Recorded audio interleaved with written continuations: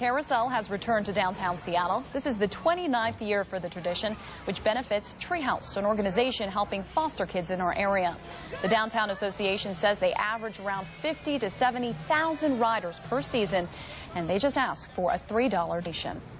Every year we have families coming down here that say they've been coming down for about a generation and bringing their kids down to ride the carousel.